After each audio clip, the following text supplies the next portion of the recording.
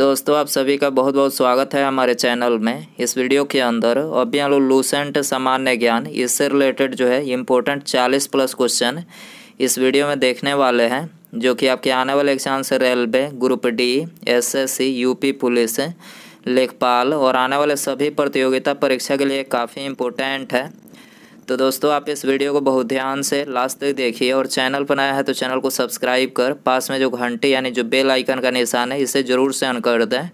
ठीक है, और ये टोटल जो चालीस क्वेश्चन है, आप इनमें से कितने क्वेश्चन जो है सही कर पाते हैं, अपना स्कोर जो है कमेंट बॉक्स में ज़रूर बताएँ। तो चलिए शुरू करते हैं। देखिए, यहाँ पर हमारा पहला क्वेश्चन दिया क्या है? संविधान में दोनों सदनों की संयुक्त बैठक का प्रावधान किस अनुच्छेद में है? संविधान में दोनों सदनों की संयुक्त बैठक का प्रावधान किस अनुच्छेद में है? तो यह है अनुच्छेद 108 में, ठीक है? अनुच्छेद 108 में जो है सदनों की दोनों बैठक की मतलब संविधान में दोनों सदनों की संयुक्त बैठक का प्रावधान है, ठीक है? आंसर हो जाएगा ऑप्शन ए। इसके अलावा यदि हम बात करें अनुच्छेद 110 की तो देखिए इसमें जो है धन विधेयक को परिभाषित किया गया है, ठीक है? अनुच्छेद 110 में जो है धन विधेयक को जो है परिभाषित किया गया है। अनुच्छेद एक की बात करें तो इसमें जो है राज्यपाल को सहायता देने के लिए जो है मंत्री परिषद का प्रावधान है। ठीक है, राज्यपाल को सहायता देने के लिए जो है मंत्री परिषद मंत्री परिषद का प्रावधान है। अनुच्छेद एक में एक सौ छियासठ की बात करें तो देखिए इसमें जो है राज्य की सरकार के कार्यों के संचालन का प्रावधान है। ठीक है, राज्य की सरकार के कार्यों के, कार्यों का संचालन का प्रावधान जो अनुच्छेद एक सौ छियासठ में है। ठीक है, आपको याद रखना है, क्वेश्चन नंबर टू है। विश्व में ट्रेड ऑर्गेनाइजेशन का प्रथम मंत्री वर्गीय सम्मेलन कहाँ हुआ था? तो देखिए, विश्व ट्रेड ऑर्गेनाइजेशन, इसको जो है हिंदी में क्या बोला जाता है? विश्व व्यापार संगठन। ठीक है, विश्व व्यापार संगठन का प्रथम मंत्री वर्गीय सम्मेलन कहाँ हुआ था? तो देखिए, ये हुआ था सिंगापुर में। ठीक है, कहाँ पर हुआ था? सिंगापुर में हुआ था। बात करें विश्व ट्रेड ऑर्गेनाइजेशन, यानी डब्ल्यूटीओ में जो है डब्ल्यू की स्थापना कब हुई थी? तो देखिए, इसकी स्थापना जनवरी उन्नीस सौ पंचानवे में जो है, इसकी स्थापना हुई थी मुख्यालय की बात करें तो स्विट्जरलैंड जनेवा में जो है, इसका मुख्यालय है। और अभी वर्तमान में डब्ल्यूटीओ में कितने सदस्य देश हैं? तो एक सौ चौंसठ जो है, सदस्य देश हैं। ठीक है, आपको याद रखना है, क्वेश्चन नंबर थर्ड है। अंतर्राष्ट्रीय न्यायालय के न्यायाधीशों की पदावधि कितने वर्ष का होता है? अंतर्राष्ट्रीय न्यायालय के न्यायाधीशों की पदावधि कितने वर्ष का होता है? तो ये नौ वर्ष का होता है। ठीक है आंसर हो जाएगा डी। ठीक है बात करें अंतर वर्तमान में अंतर्राष्ट्रीय न्यायालय में जो है भारतीय न्यायाधीश कौन है? तो अभी वर्तमान में अंतर्राष्ट्रीय न्यायालय में जो भारतीय न्यायाधीश हैं तो है दलबीर सिंह भंडारी। कौन है? दलबीर सिंह भंडारी हैं। ठीक है और इनका जो मतलब अंतर्राष्ट्रीय न्यायालय में न्यायाधीशों की जो पदावधि का कार्य हो, काल होता है नौ वर्षों का होता है। तो दलबीर सिंह जो भंडारी हैं, ये कब निर्वाचित हुए? 2018 में। ठीक है, और इनका कार्यकाल नौ वर्षों का होगा तो 2027 तक जो है इनका कार्यकाल है। तो याद रखना है 2027 तक जो है दलबीर सिंह भंडारी जो है अंतर्राष्ट्रीय न्यायालय में भारतीय न्यायाधीश हैं। ठीक है, क्वेश्चन नंबर चार है, राष्ट्रपति का रिक्त स्थान भर लिया जाना होता है। राष्ट्रपति का जो रिक्त स्थान होता है, कितने समय में जो है भर लिया जाना होता है? छः महीने में। ठीक है छः महीने के अंदर जो है भर लिया जाना होता है आंसर हो जाएगा डी। बात करें राष्ट्रपति की तो भारत के पहले राष्ट्रपति डॉक्टर राजेंद्र प्रसाद थे ठीक है? राष्ट्रपति पद का प्रावधान कौन से अनुच्छेद में है? अनुच्छेद बावन में है। राष्ट्रपति बनने के लिए न्यूनतम आयु पूछा जाए कितना हो, होनी चाहिए तो पैंतीस वर्ष होनी चाहिए और अभी वर्तमान में राष्ट्रपति का वेतन कितना है? पाँच लाख है ठीक है? और राष्ट्रपति जो होते हैं, अपना इस्तीफा किसे देते हैं? उपराष्ट्रपति को जो है अपना इस्तीफा देते हैं तो आपको याद रखना है और इनका कार्यकाल पाँच वर्षों का होता है। वेतन पाँच लाख है। याद रखना है, क्वेश्चन नंबर पाँच है। पृथ्वी के वायुमंडल का सर्वाधिक घनत्व किस पर होता है? सर्वाधिक घनत्व किस पर होता है? क्षोभ मंडल पर होता है, ठीक है? बात करें क्षोभ मंडल की तो देखिए क्षोभ मंडल मंडल को जो है अंग्रेज़ी में ट्रोपोस्फियर बोला जाता है और ये पृथ्वी के वायुमंडल का सबसे निचला हिस्सा है, ठीक है? पृथ्वी के वायुमंडल का सबसे निचला हिस्सा है, ठीक है? इस परत में आर्द्रता, जल कण, धूल कण, वायु वायु धुंध तथा सभी मौसम घटनाएँ जो होती है, इसी मंडल में होती है क्षोभ मंडल में, ठीक है? और पृथ्वी के वायु का जो है मतलब इसमें जो है यह पृथ्वी के वायु का जो है सबसे घना भाग है। क्षोभ मंडल जो है, यह पृथ्वी के वायु का जो है सबसे घना भाग है। ठीक है, आपको याद रखना है, आंसर हो जाएगा डी, क्वेश्चन नंबर सिक्स है। रासायनिक रूप से मिल्क ऑफ़ मैग्नेशिया किसे कहा जाता है? तो रासायनिक रूप से जो है, मैग्नीशियम हाइड्रोक्साइड को। ठीक है, मैग्नीशियम हाइड्रोक्साइड को जो है, ये मिल्क ऑफ़ मैग्नेशिया कहा जाता है। आंसर हो जाएगा बी, क्वेश्चन नंबर सात है। पवन की गति को मापने वाला उपकरण है। वेरी इंपॉर्टेंट क्वेश्चन बहुत बार क्वेश्चन ये क्वेश्चन जो है एग्ज़ाम में पूछा गया है। पवन की गति को मापने वाला उपकरण कौन सा है?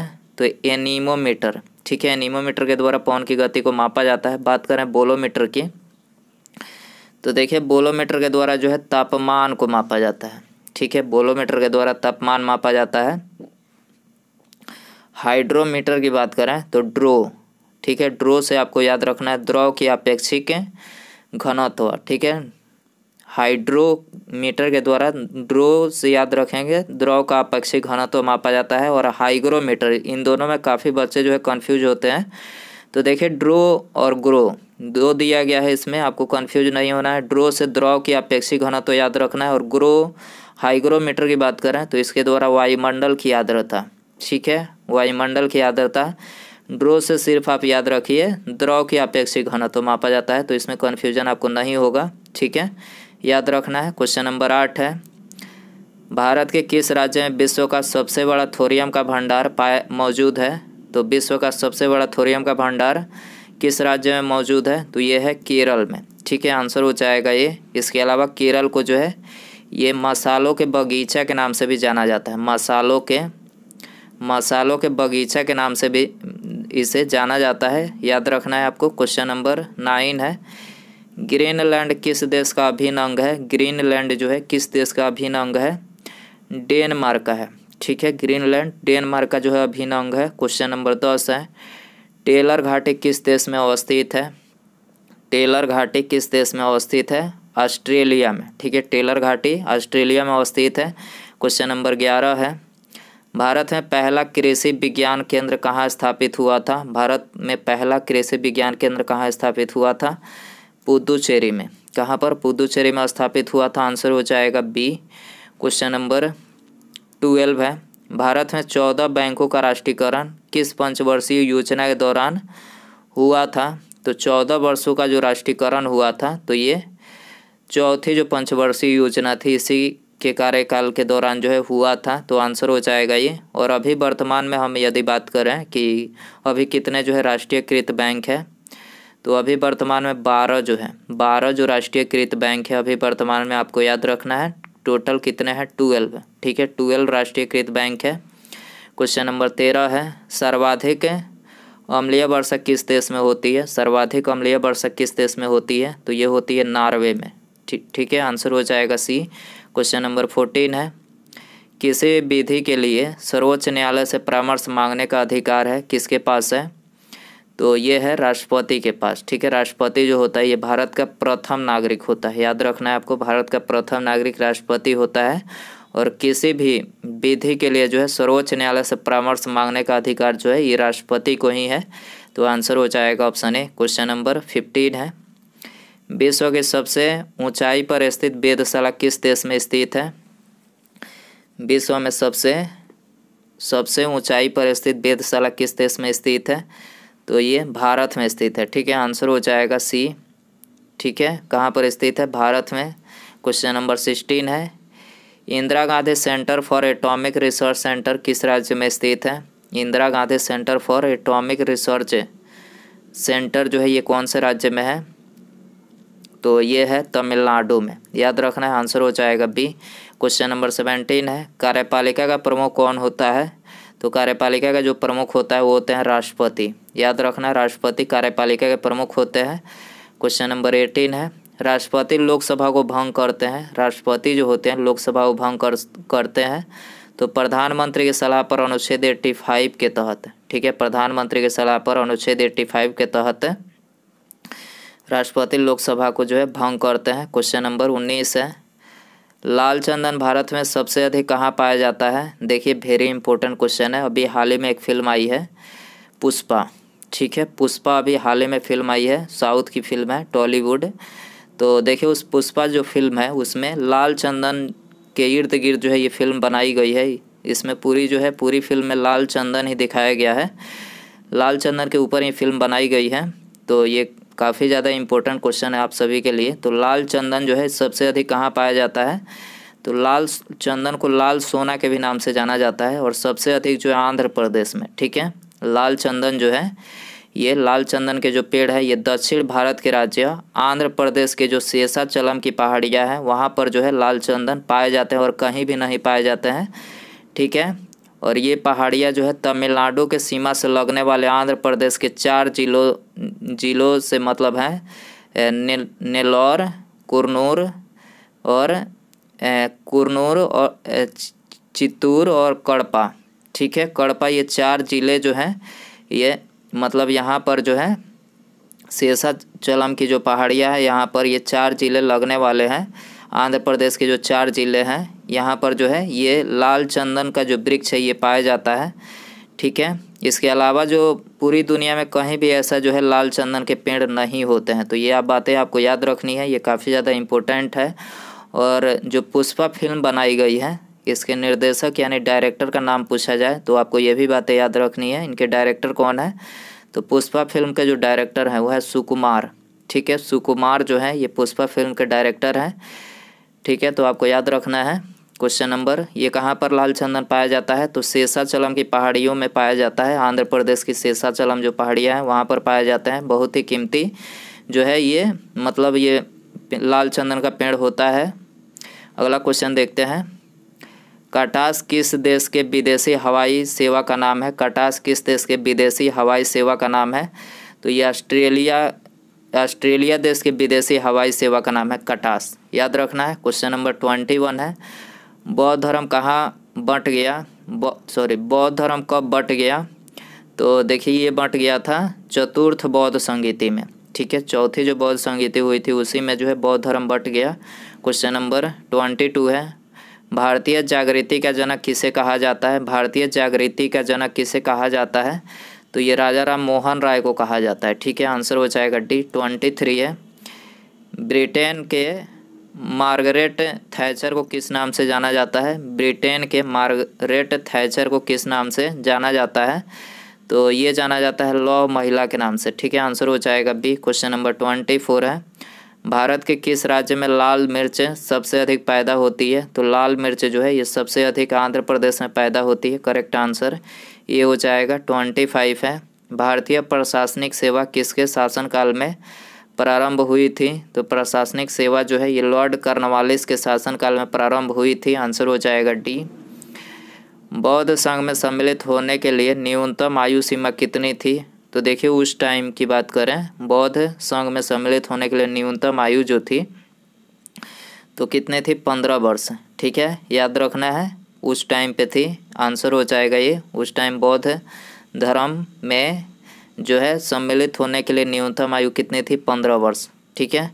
विश्व का सबसे बड़ा द्वीप कौन सा है? विश्व का सबसे बड़ा द्वीप कौन सा है? ग्रीनलैंड है। ठीक है? ग्रीनलैंड जो है विश्व का सबसे बड़ा द्वीप है, जो कि आर्कटिक और अटलांटिक महासागर में के बीच स्थित है। ग्रीनलैंड जो है, ये आर्कटिक और अटलांटिक महासागर के बीच में स्थित है। ठीक है? रबिया दुरानी किस मुग़ल शासक की पत्नी थी? रबिया दुरानी जो थी, ये किस मुग़ल शासक की पत्नी थी? तो औरंगज़ेब की पत्नी थी, ठीक है? सी आंसर हो जाएगा, उनतीस है। किस गुप्तकालीन शासक को कविराज कहा गया? तो कविराज जो कहा गया, समुद्रगुप्त को कहा गया, ठीक है? समुद्रगुप्त को इसके अलावा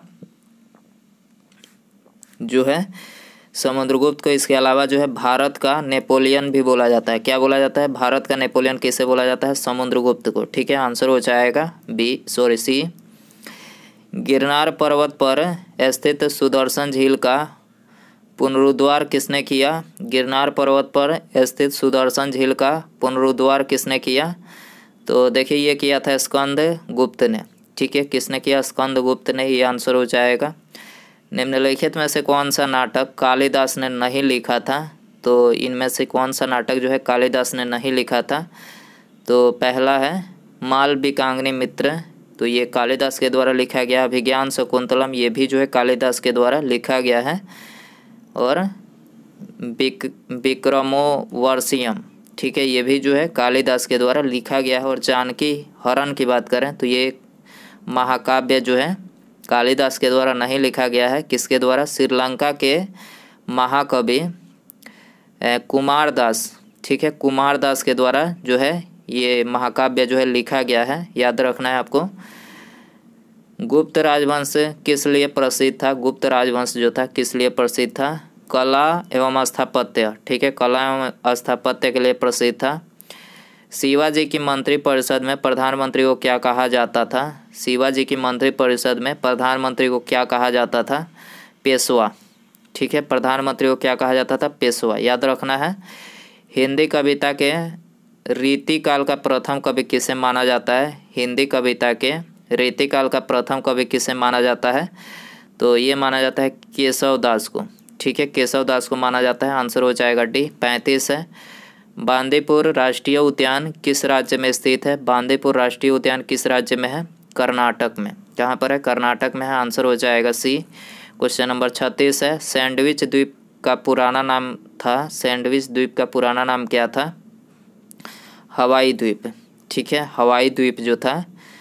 ए, मतलब सैंडविच द्वीप का पुराना नाम हवाई द्वीप था। आंसर हो जाएगा बी। क्वेश्चन नंबर सैंतीस है। हमारे जीवन से प्रकाश चला गया है। किसने कहा था? तो देखिए, महात्मा गांधी जी की मृत्यु हुई थी तो उस समय नेहरू जी ने जो है, नेहरू जी ने, नेहरू जी ने जो है ये बात बोली थी, गांधी जी की मृत्यु पर, ठीक है? गांधी जी की, गांधी जी की मतलब मृत्यु हुई थी, उसी टाइम पर जो है नेहरू जी ने क्या बोला था कि हमारे जीवन से जो है प्रकाश चला गया। तो आंसर हो जाएगा ऑप्शन ए क्वेश्चन नंबर अड़तीस है। दशावतार दशावतार मंदिर किस नदी के तट पर स्थित है? दशावतार मंदिर किस नदी के तट पर स्थित है? बेतवा नदी के तट पर स्थित है। डी आंसर हो जाएगा। न्यूटन के सिद्धांतों की पूर्व कल्पना किस वैज्ञानिक ने की? न्यूटन के सिद्धांतों की पूर्व कल्पना किस वैज्ञानिक ने की? तो ये ब्रह्मगुप्त, ठीक है, ब्रह्मगुप्त ने की थी। आंसर हो जाएगा बी। क्वेश्चन नंबर फोर्टी है। निम्नलिखित में से किस प्रक्रिया में ऑक्सीजन को हवा में छोड़ा जाता है? किस प्रक्रिया में ऑक्सीजन को हवा में छोड़ा जाता है? तो ये प्रकाश संश्लेषण की प्रक्रिया में जो है हवा में छोड़ा जाता है।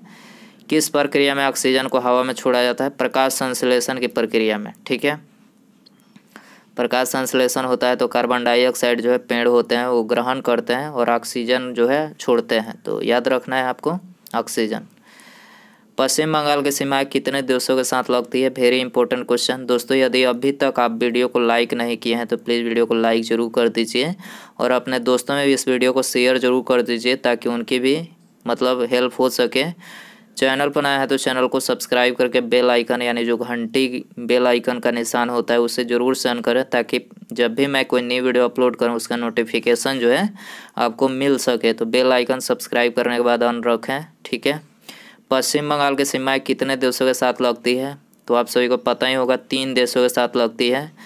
नेपाल नेपाल, भूटान भूटान और बांग्लादेश। ठीक है? बांग्ला, बांग्लादेश। ठीक है? इन तीन देशों के साथ नेपाल, भूटान और बांग्लादेश। ठीक है? पश्चिम बंगाल की सीमाएँ लगती है। सी आंसर हो जाएगा। भारत की स्वतंत्रता के समय गवर्नर जनरल कौन था? भारत की स्वतंत्रता के समय, जिस टाइम पे स्वतंत्र हुआ था, उस समय जो है गवर्नर जनरल कौन था? तो उस समय जो है governor general lord Mountbatten था। ठीक है, याद रखना है, लॉर्ड माउंट बैटन रंग भूमि किसकी रचना है? रंग भूमि किसकी रचना है? मुंशी प्रेमचंद्र की। ठीक है रंग भूमि मुंशी प्रेमचंद्र की रचना है। मनुष्य के सूंघने की क्षमता को नियंत्रित करता है। तो सूंघने की क्षमता जो होती है, उसको कौन नियंत्रित करता है? ध्रानेन्द्रिय पाली। ध्रानेन्द्रिय पाली जो होता है, ये मनुष्य के सूंघने की क्षमता को जो है नियंत्रित करता है। सी आंसर हो जाएगा फोर्टी फाइव है।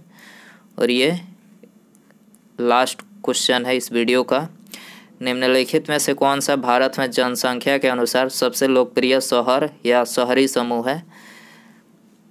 तो आपको बताना है, इनमें से कौन जो है भारत में जनसंख्या के अनुसार सबसे लोकप्रिय शहर या फिर शहरी समूह है?